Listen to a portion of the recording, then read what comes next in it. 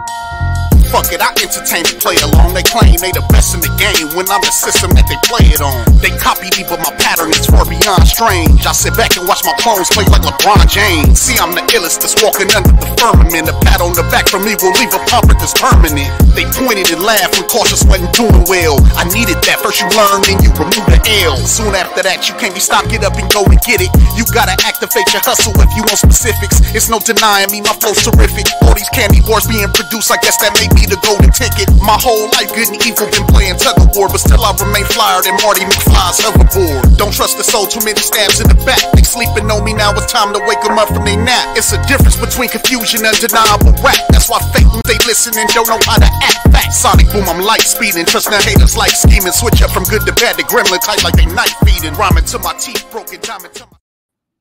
Yo, welcome to the show. Welcome to the show. We get into that a little bit later, giving you guys a little little tidbit of what we're going to be talking about. Hey, what's up? It's your boy Big Mike Raider, and we're here to talk some ball right here, man. We're going to talk some film study. We're going to go into some film study, and what we're going to do is we're going to go into talking about our very own Neil Farrell Jr.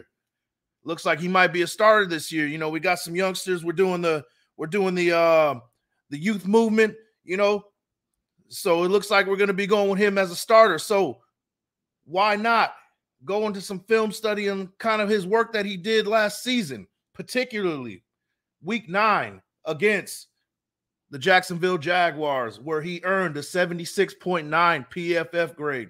We're going to go in about 16 of his 27 snaps, kind of his best hits in that game against the Jaguars in week nine. Um, this was by far his best game that he had the entire season. So I want to get I want to get into it, guys. Uh, this is going to be on planetraiders.com. This is going to be on Planet Raiders. It's also going to be on my channel. Go check out Planet Raiders um, and do the look at the film breakdown as well as some fire articles from Wasted Talent, Kane Town Raider, myself, Black Sales. We got it all over there. Go check it out. And a couple of film studies from Andy, who's chipping in right here, man. He had some some good film breakdown from uh, Spillane. Um, so, guys, go check it out. Go check it out, please. Um, without further ado, let's jump into this film breakdown. Like I said, it's going to be Neil Farrell Jr. against the Jacksonville Jaguars, 76.9 PFF grade in week nine. This is by far his best game. And for the reason why we're doing this is because, well, it looks like, you know, he's going to be our, our starter. He's going to be one of our, uh, he's going to be our, uh, maybe not a starter, but he's going to be a big piece of this defensive tackle. He's going to be in a good rotation. Uh, we're going with the youth movement. It looks like um, we haven't addressed the defensive tackle position in free agency. So it's looking like we're going to be rolling with our guys that we drafted last year. So, guys, without further ado, let's jump into it. Let me rewind this. This is some of the uh, kind of started rolling without me. So let's uh let's slow this down. All right. So this is what we're looking at right here. We got Neil Farrell Jr., number 92. He's going to be in the three technique on the outside shade of the left guard. Um, if you guys uh if you guys are keeping up, he's going to be number 92 right there. So let's get into it. Let's get into it. Let's show it real quick. So there you go. There you go. Snap the ball. Okay, so he goes on the backside, the opposite end of Neil Farrell Jr., but Neil Farrell Jr. almost makes the play. So let's look at it right here, right? To get a better angle. Like I said, let's stop it right here. We got Neil Farrell Jr. in the three technique. Um, right there over the outside shade of the guard. We got uh two linebackers right there, and uh Travis Etienne as running back. Uh, of course, you got um um Trevor Lawrence at quarterback. So let's see how it unfolds and I'm gonna slow it down, kind of break it down this play. You got the snap. So here we go, right here. Now everybody, it looks like we got everybody blocked right here, stalemate, right? And you'll see in a little bit. I'll click real quick. Boom. Now you got you got that that lane right there. You got an open lane. It looks like a huge lane. And on your left side, right here on the left side of the screen, you got Neil Farrell Jr. playing patty cake with number 69, which is fine. I'm not expecting you to make a play you know, that's a spectacular play if you can make it at the defensive tackle position. But what would you like to see here is him break off of that that that guard soon as he recognizes that there's going to be a run on that end. You would like to see him shed that blocker, and that's coachable, guys. That's coachable. That's things that we can kind of coach. Um, you know, Tre'von Moehrig, he's way out of position right here, but we're not going to talk about Tre'von Moehrig here. But Moehrig should be filling that hole right there, recognizing what's going on. Everybody's blocked. Tre'von Moehrig needs to recognize that a lot faster. So let's keep on going. So there you go. There you go. So Neil Farrell Jr. is chasing this dude down. And now, guys, I don't know if you guys knew, but Neil Farrell Jr. is down to 305 this coming season. He was playing at about 330 last season. So, in saying all that, he shedded the blocker. He and he, he you know, he recognized it. You would like for him to recognize that just a little bit faster. But here's the thing: at 305, he sheds that blocker faster, and then he can make that play. Next year, we might see him make that play. So let's see how it unfolds. So yeah, he's chasing down. He's right there, man. He's just, you know, maybe just a little bit lighter.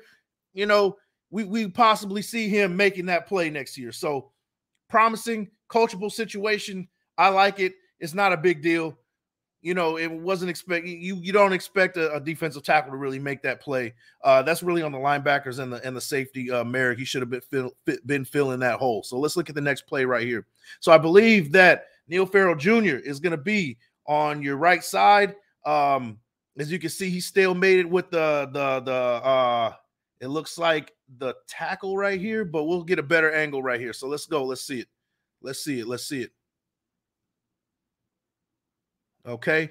Linebacker, I mean, running back kind of bounced out because Billings kind of forced him to bounce outside. So there you go. So now you got Neil Farrell, number 92, in the three technique, stalemate with the guard. So there you go. And he makes the play. So there you go. That was a perfect play from him. Um, and that was a good play from uh, Billings, who uh, went to the Chicago Bears. But uh, that was a good play on his part. He forced the running back to bounce to the outside, and Neil Farrell Jr. Uh, forces the play, makes uh, the the assisted tackle. So here we go. We I believe we got Neil Farrell Jr. right here in a one technique on the uh, on the shade in between the center and the guard on the right side. Let's see how this unfolds. We'll get a better angle. So let's see, let's see, let's see.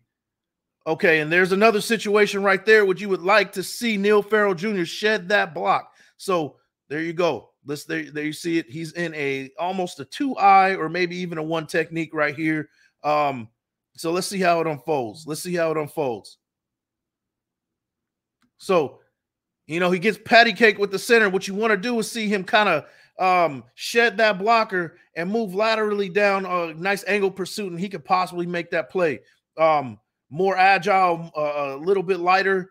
Um, you might see him make that play this year. So let, let's see how it unfolds. So there you go. Yeah, he he needs to uh, stop playing patty cake. But you know, this is coachable situations. Like I said, guys, this is one of those things where he can like, you know, with with some coaching and, and some film study, uh, he can recognize these situations and shed the blocker a lot faster and make the play. But he's right there. He's pretty close, man. He's pretty close. So let's look at this one. I believe he's in a one technique right here. We'll get a better angle. Let's see how this play goes. Okay, okay. And that was a way to shut off the block. Um, he kind of threw the guy off of him, which you like to see. Um, here you go. He's in the one technique right here in between center and guard on the right side. And there you go. There you go. And this, this time he recognizes it a lot faster, but he's not in a position to make the play. That's fine. Um, you kind of hope our linebackers would be there to make the play. Uh, Denzel Perryman um, kind of is a little bit slower in reaction to me, in my opinion. But here we go. There you go. He sheds them off really quick, but you know you can't expect a defensive tackle to really make that play. So um, I'm all right with it. Let's see what we got here. Um, I believe we got Neil Farrell. Uh, um, I'm not. I'm not too sure, but I believe he's in the one technique on the left side. Uh, I'm not too sure. He might be in that three technique on the right side, but we'll get a better angle. Let's see how it unfolds. Okay, so yeah, he is in that three technique, guys. Um, we'll get a better angle right here. Three technique right here um, on the on our right on our left side of the screen. Let's see how it unfolds. You got a man motioning. So the Jaguars ran this play a lot where they motioned the wide receiver to the right, and then they had almost like a counter type of play where the the, the tight end kind of uh, does like a counter uh, and kind of pulls to the left and making that natural lane between the guard I'm sorry, the tackle and the tight end. Uh, it looks like they're trying to replicate that same type of play, but it looks like Travis Etienne bounced to the inside. And to me, Neil Farrell is in a perfect position right here. He's right here. He's recognizing the play. You can see his eyes are on the running back right here. He's stalemated with that. Uh, I believe it's the tackle right here, and that's what you want to see. And let's see if he sheds that the way we want him to shed it. So he holds his ground. He sheds it. You would hope for that he would shed it just a little bit uh, sooner, but he sheds it nonetheless, and he makes that tackle. It's a great play from him, uh, assisted. I, I would say that's a good play. You would hope that he would, uh, however, um, shed that guy a little bit earlier and, and kind of tackle him for minimal gain. But hey, I'll take it. I'll take it. And that was a good play from him. So next play right here, let's look at it. Right, I believe he's in the one technique in between the center and guard on the left side. Right here, we'll see how this play unfolds. And we're looking at Neil Farrell, number 92. And that's a great play right there. I don't know if you guys saw that, but he completely just threw uh, the, the guard off him. I believe it was the guard. He just kind of threw him off real quick, and he was in position to make the play. Um, he, he filled a gap right there. He did his job, and that's what you you're looking for from a one slash three technique from a um, from a uh, defensive tackle with gap responsibility. So there you go. Let's keep looking. Let's keep looking. And like I said, we're going to get a better angle at this right here. Like I said, Neil Farrell Jr. in a one technique right here, and he's on the guard. No, he's on the center. Sorry, guys. So you see what he did right there? He kind of like made an angle towards the center, and he kind of just did like a uh, like almost a swim slash rip uh, to kind of get the center off him, and he was in a position to fill that gap, forcing Travis, I believe it's Travis Etienne, or it might be another running back to kind of bounce it to the outside, and the rest of the guys were there to make the thing happen, make a tackle for minimal gain. So there you go. Good play from Neil Farrell. He was the one that kind of started that. Uh, and great play. That's a great play. And this is why he got a 76.9 PFF grade in this uh in this game. He was one of the top rookie performers for week nine. So it, it shows right here. I mean, he's he's either really close to making plays, um, or he's there making a play and causing other uh, causing havoc. So this that's what we're looking for right here. So let's see. I believe he's in the one technique right here. Um, you you, you got a lot of guys down uh, right there. You got like five uh, linemen right there. So this is an obvious running situation. Let's see what happens. So you got that motion, and then watch. You got it once again. Like I said, you got the motion from the, the, the wide receiver going to the right, and then you got that counter action from the tight end pulling to the left, causing that lane between the the tackle and the tight end. That's what the Jaguars did the entire game uh, when it came to running the ball, and they were successful at it late in the game. So you look right here. Let's see what happens. You see that Neil Farrell. This is a bad position. He's caught up in the scrum right here, you know, and that's going to be really hard to get out of. So let's see what he does here. And he does a great job shedding that. He overcomes that scrum and kind of gets out there, and he's just just a second too soon right here. Now he's kind of head up on this guard right here. He might be a two eye. Um, it, it, depends. It depends on how you see it, right? So actually, eh, let's let's see how it goes. Let's see how it goes. Let's see how it goes. This is in real time, so bear with me. Um, there you go. So you got number 69 on skates right there. You never want to see your offensive lineman leaning that way. Look at number 69. He is not upright. He is on like his right leg, and he is definitely three wheel motion right now. And that's what you want to see. What you don't want to see is that natural lane about to happen between the the tackle and the tight end. The tight end's about to make this natural lane because he's about to block this uh this uh I don't know what number that is this uh outside linebacker on the outside. All he has to do is kind of touch him just a little bit, and you see that uh, our uh, the tackle number 74 and the Jaguars is washing this dude down, man. Roll, roll, you know how it goes. Roll, roll, roll your boat gently down the stream. He's washing his ass down there, and you definitely don't want to see that. Let's see how it unfolds, though. Oh man, so yeah, Neil Neil Farrell does a good job. Uh, the you know even the dude that was getting washed down kind of overcame that and uh, make this play. This play could have had this had potential of being way worse than what it was. Uh, Neil Farrell, if he just like I said, just sheds it a little bit sooner, he's right there to make a play. So uh, I would say that's a, a decent effort from him. From him. So let's see how the rest of it unfolds. He's right there to kind of uh, he's he's in the mix with that one. So let's see how this one goes. Uh, right. So it looks like we got him in a three technique on the right side between the guard and the tackle right here. Let's check it out. Let's see how it goes. I think this is the play that, and this is this is uh, by design right here. Um, I would say uh, you would like to see Neil Farrell kind of hold his ground and kind of stay on his feet here. Um, if he does, maybe he can, you know, maybe deflect the ball. I'm gonna stop right here. So he's in a three technique, and notice how he he he gets a good rush forward, but he doesn't keep his feet. Now, if he keeps his feet, he can probably dis, uh, uh, disrupt this play and possibly get a uh, a pass deflection. And uh, when he does that, you know, you, you, you, you, I think this is third down as well. Um, I'm not too sure, but if he does this, you, they're in a punt situation. So let, let's check it out. Let's check it out. There you go. You want him to keep his feet. You want him to keep his feet right here because if he does, he recognizes that it's almost like a screen almost. So he recognizes that maybe he he causes uh Trevor Lawrence to kind of change where he wants to go, disrupts the pass a little bit, disrupt timing, things like that. So um good effort, but you want him to keep his feet here. And it, it ended up turning into a first down right here. Um, there you go. There you go to the tight end, first down. Um, now that play was by design. So let's see right here. I believe that Neil Farrell is once again in the three technique um, in between guard and tackle on the left side this time. Let's see how it goes. Okay, swim move makes the play. That's an excellent play. He had his hand in there. He, he kind of slowed down that running back. He didn't make the tackle, but he slowed him down. So let's check it out. Actually, guys, he's in the one technique. I'm sorry. So right there, head up with the center. And what he does, he, he was working that center all game, guys. What he does, swim move, boom. Now he's in a position right there. He's filling the gap. The, the running back is forced to bounce to the outside. You would like to see, uh, I believe that's Maxx Crosby to kind of be – uh, not so aggressive uh, going upfield, but kind of filling a gap, and he can make that play.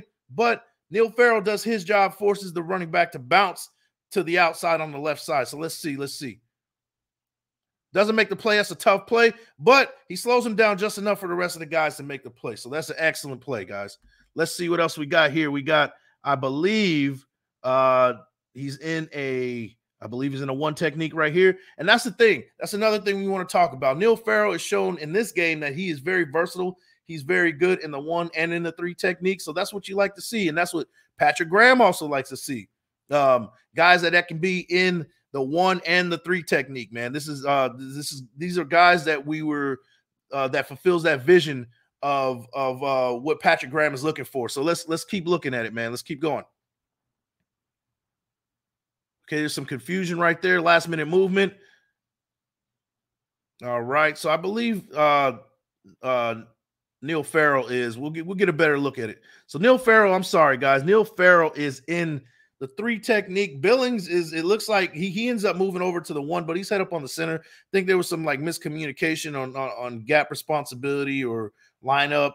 Um, and I believe number 54 Martinez kind of corrects him there, but uh, let, let's see how it goes. See, there you go. So now you got Billings that kind of slid, over right before the snap to the one technique, and you got uh, Neil Farrell in the three technique. But I feel like Martinez or somebody's not lined up correctly because you got too many people kind of lined uh, heavy to the left. Um, I, I, would like to see um, Martinez kind of slide over just a little bit right in between that gap of the center and guard, but um, maybe that's by design. I don't know. So let's see. Let's see. Okay.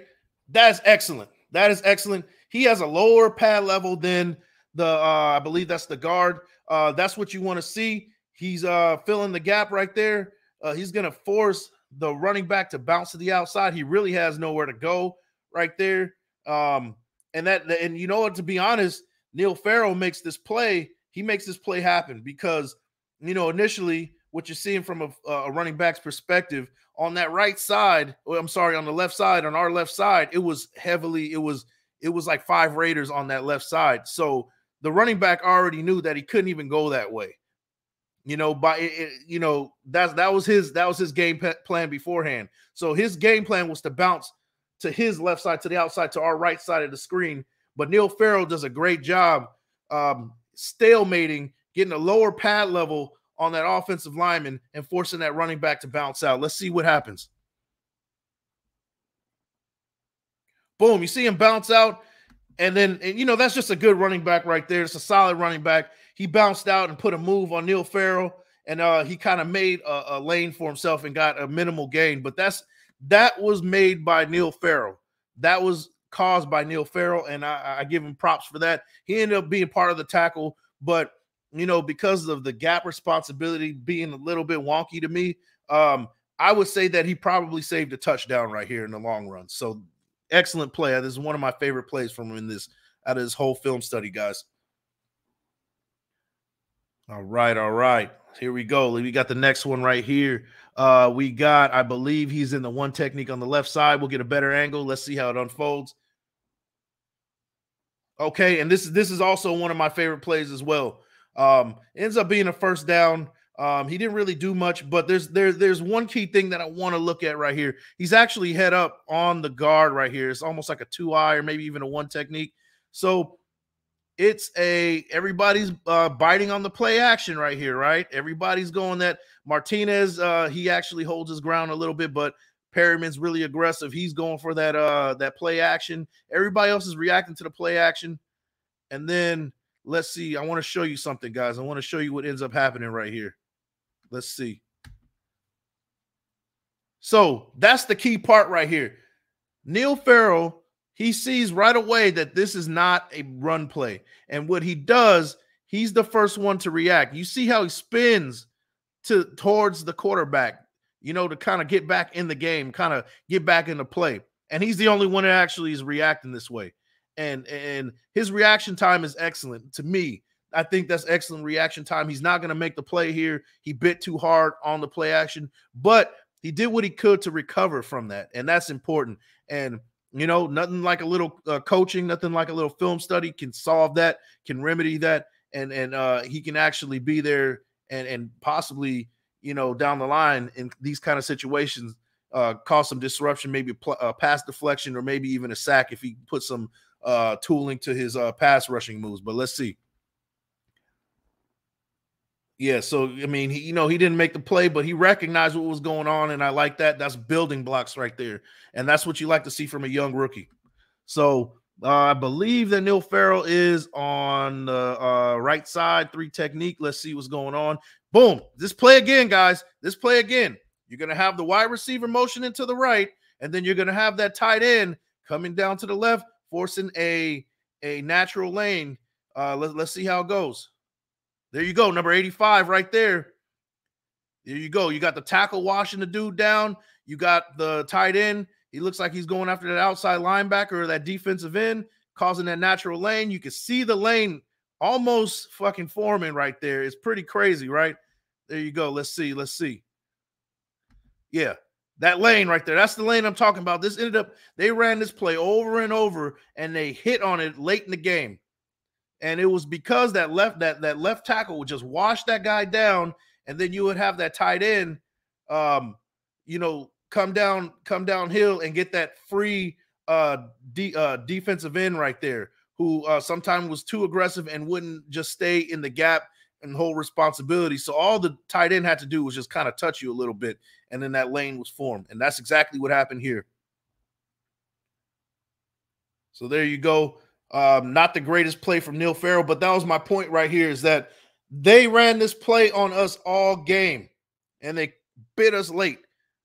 So you got right here, and that's that's a coachable. Whew, that's bad. You don't want to see that. Number 74, wash Neil Farrell down, and all you had to do was touch him a little. You definitely don't want to see that position from your, your your defensive tackle. He is way out of position. His his you know his body isn't square. He has no way to make this play. All uh, Travis Etienne has to do is bounce out and wait for that that tight end to make that natural lane, and that's exactly what happens, guys. Let's see it. Let's see it. Boom! Natural lane breaks a tackle, breaks another tackle. He's going downhill uh, for for a first down, and this was late in the game too. That was one of the backbreakers. Um, let's see. Let's see. Uh, here we go. Here we go. I believe he was in the one technique. Um, and there you go. That's that's another coachable moment right here. Let's see what ends up happening. Um, believe he's in a one technique, kind of a two eye ish. Uh, And and you would like to see right here, he's in good position. If he just sheds that guy off, it's the guard, uh, the guard, the right guard. He sheds this right guard down, and he can be in a position to make a play. You want to see him get there just a little bit sooner. He's right there. Linebacker's way out of position. He's caught in a, in a cluster fuck, and you don't want to see that. Number number 54 is just caught in a cluster. And let's see. Yeah, he's way uh, you know, 54 should have been there to make that play. But we're looking at Neil Farrell. Neil Farrell, if you can just shed that blocker just a little bit sooner, you're causing more havoc and possibly somebody can come and make that play. But I'm putting this on number 54. He should have been there. He was way out of position. He got caught in a cluster, and that's that's the consequences right there. That's the consequences. So yeah, um, almost a touchdown score right there. I believe Neil Farrell's in the three technique right here. Let's see how this play goes. And look at this.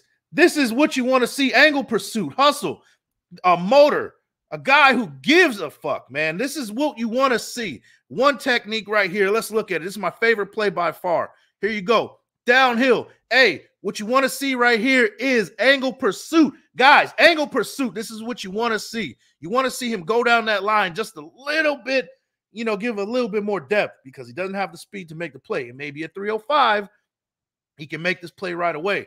But the motor on this man, he didn't give up. And this is what you like to see. Number 92 is freed up, and then you like to see him angle pursuit, right?